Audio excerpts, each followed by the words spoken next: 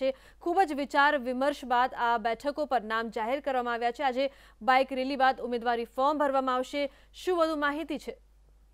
જો આપણે ભારતીય જનતા પાર્ટીની લોકસભા ચૂંટણીની જો વાત કરીએ, તો ગુજરાતની જે છવ્વીસ લોકસભા બેઠકો છે, આ બેઠકો પૈકી પચીસ બેઠકોના ઉમેદવારોના નામ ગઈકાલ સાંજ સુધીમાં જાહેર થઈ ચૂક્યા હતા. પરંતુ અમદાવાદ પૂર્વનું એક એવું નામ હતું કે જેને લઈને ક્યાંક ને ક્યાંક ભારતીય જનતા પાર્ટીના નેતાઓ વચ્ચે અસમંજસ હતી અને તેના કારણે આ નામ જાહેર થઈ શક્યું નહોતું.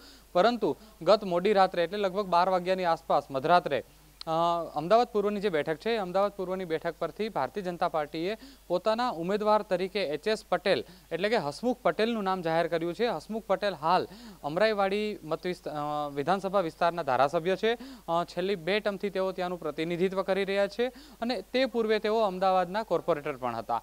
એટલે કહી શકાય કે એક કોંગ્રેસ દ્વારા જે ગીતા પટેલ, એટલે કે જે પાટીદાર અનામત આંદોલન સમિતિ છે, તેની કન્વીનર છે ગીતા પટેલ એને મેદાનમાં ઉતારીને પાટીદાર કાર્ડ જે રીતે ખેલ્યું હતું, તેને ટક્કર આપવા માટે ભારતીય જનતા પાર્ટીએ પણ પાટીદાર ઉમેદવાર ઉપર પસંદગી ઉતારી છે. કારણ કે એક તબક્કે ભારતીય જનતા પાર્ટીમાં એવી પણ વિચારણા હતી કે અમદાવાદ પૂર્વ જે વિસ્તાર છે ત્યાં પરેશ રાવલ અત્યાર સુધી સાંસદ હતા. તો પરેશ રાવલ જે બ્રાહ્મણ ઉમેદવાર હતા, તેની જગ્યાએ હવે નવા ઉમેદવાર તરીકે પણ ક્યાંક ને ક્યાંક બ્રાહ્મણ સમાજમાંથી એક ટિકિટ આપવામાં આવે આવી વાત પણ હતી. પરંતુ જે રીતે કોંગ્રેસે પાટીદાર કાર્ડ ઉતર્યું અને તેના કારણે ભારતીય જનતા પાર્ટીએ પણ પાટીદાર કાર્ડ ઉતરવાની ફરજ પડી છે અને તેના ભાગરૂપે એચ એસ પટેલને ટિકિટ આપવામાં આવેલી છે.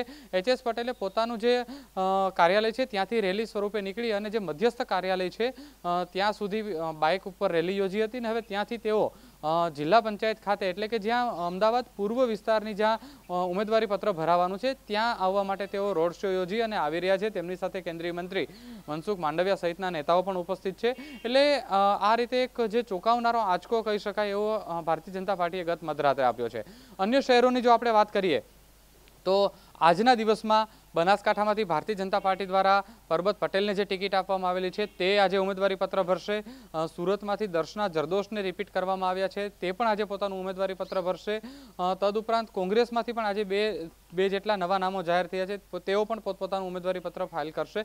એટલે કહી શકાય કે ભારતીય જનતા પાર્ટી અને કોંગ્રેસ છેલ્લી ઘડી સુધી ઉમેદવારોના નામને લઈને કસમકસમાં હતી અસમંજસમાં હતી તેનો હવે નિવેડો આવી ચૂક્યો છે અને આજે તમામ પોતાના ઉમેદવારો પત્ર ભરી દેશે. જી. જી મહાદેવ એક પ્રશ્ન એ પૂછવા માંગીશ કે એચએસ પટેલ અને સામે પણ ગીતાબેન પટેલ અને પટેલ ફેક્ટર કેટલું રહેશે? કારણ કે બંને પટેલ ઉમેદવારો ઉતાર્યા છે. અમદાવાદ પૂર્વનો કેટલોક વિસ્તાર એવો છે? બાપુનગર નિકોલ હીરાવાડી સહિતનો જે નરોડા સહિતનો જે વિસ્તાર છે, ત્યાં પાટીદાર મતદારોનું પ્રભુત્વ ઘણું રહ્યું છે. પાટીદારોના પ્રભુત્વવાળો આ વિસ્તાર હોવાના કારણે કોંગ્રેસે આ પાટીદાર કાર્ડ ખેલ્યું છે. કારણ કે બે હજાર પંદરથી જે રીતે પાટીદાર અનામત આંદોલનની શરૂઆત થઈ હતી અને તેનું મુખ્ય એપિસેન્ટર છે મહેસાણા જિલ્લો રહ્યો હતો, ત્યારબાદ જો બીજા ક્રમે અમદાવાદમાં પાટીદારોનું પ્રભુત્વવાળી કે બહુમતીવાળા વિસ્તારની દ્રષ્ટિએ આપણે જોઈએ તો અમદાવાદ પૂર્વનો જો વિસ્તાર છે, એ હંમેશા પાટીદારોના પ્રભુત્વવાળો વિસ્તાર રહ્યો છે. કારણ કે હાર્દિક પટેલ સહિતના જે પાટીદાર નેતાઓ છે, તેમણે ક્યાંક ને ક્યાંક નિકોલ સહિતના વિસ્તારોને પોતાનો ગઢ બનાવી અને પોતાની જે મુવમેન્ટ છે એને આગળ ચલાવી હતી. હવે અમદાવાદ પૂર્વમાં તમામ વિસ્તારોનો સમાવેશ થાય છે. એટલે સ્વાભાવિક છે કે જો પાટીદારો ભારતીય જનતા પાર્ટીથી વિમુખ હોય તો તેનો સીધો ફાયદો કોંગ્રેસને મળે અને એ માટે થઈને જ ભારતીય જનતા પાર્ટીએ ગીતા પટેલ, કે જે અત્યારે પાસને, પાસના મહિલા લડાયક નેતા છે, તેમને ત્યાં મેદાનમાં ઉતાર્યા છે. એટલે તેમને હવે ટક્કર આપવા માટે ભારતીય જનતા પાર્ટીને ફરજ પડી છે કે હસમુખ પટેલને ટિકિટ આપી, એટલે કે પાટીદાર ઉમેદવારને ત્યાંથી ટિકિટ આપીને લડાવો. અને તેના ભાગરૂપે એચ એસ પટેલને ત્યાંથી ટિકિટ આપવામાં આવેલી છે. એચ એસ પટેલ ઉદ્યોગપતિ છે, શિક્ષિત છે, સાથોસાથ પાટીદાર સમાજમાં પણ થોડું ઘણું વર્ચસ્વ ધરાવે છે.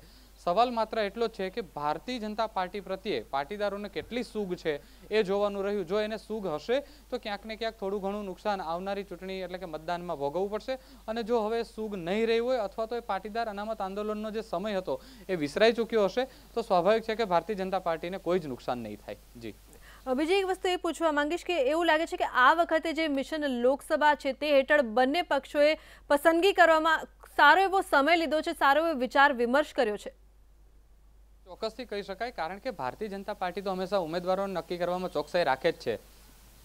પરંતુ આ વખતે કોંગ્રેસે પણ જે રીતે ચોકસાઈ વર્તી છે, એ જોતા એવું કહી શકાય કે આ વખતે બંનેમાંથી એક પણ પક્ષ, ચાહે ભાજપ હોય કે ચાહે કોંગ્રેસ બંનેમાંથી એક પણ પક્ષ કોઈ ગાફલત વર્તવાના મૂડમાં નથી કોઈ જ કચાસ છોડવાના મૂડમાં નથી.